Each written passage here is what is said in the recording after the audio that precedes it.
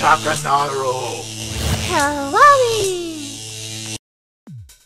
It's Friday, you guys, and these are the news reports of the bizarre. An axe crashes through a car windshield on a highway. It was a scary moment on a highway north of Boston when an axe smashed through the windshield of a car. Massachusetts State Police said the axe bounced off of a landscaper's dump truck about 11 a.m. Wednesday on a southbound Interstate 95 in Topsfield. They released a photo showing that the axe with the corner of its blade stuck the passenger side of the car's dashboard. The handle was sticking through the windshield. Police said the car's passenger was shaken up but not hurt. The truck driver from Peabody, Massachusetts, was cited for failing to secure the axe, which carries a $200 fine.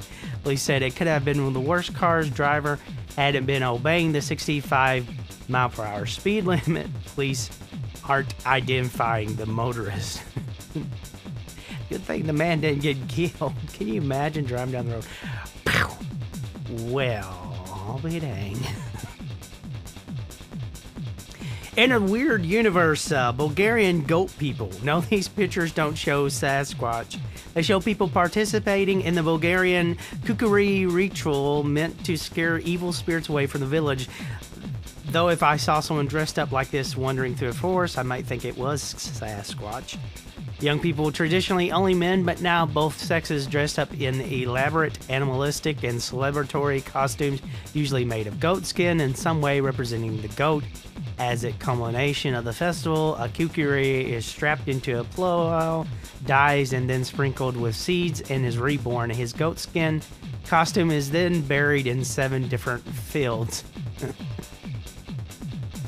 it's cousin it. A New Mexico man faces charges after authorities say a couple found him naked and sleeping in their bed. Investigators say a 30 year old Freddie Shelby of Albuquerque was arrested Sunday after the homeowners called police to report their unwanted mystery guest. According to a criminal complaint, Shelby broke into the couple's home through a window and grabbed a Sprite from the refrigerator before falling asleep in the master bedroom. Authorities say the homeowners found a disrobed Shelby in a deep sleep. Officers arrived and called to the man, but he slept through it, authorities said. Shelby woke up after an officer ripped the blankets off of him. Shelby told officers he thought he was at his girlfriend's house. He was charged with breaking and entering. It wasn't immediately known if he had an attorney, but people assumed that he was drunk, I guess.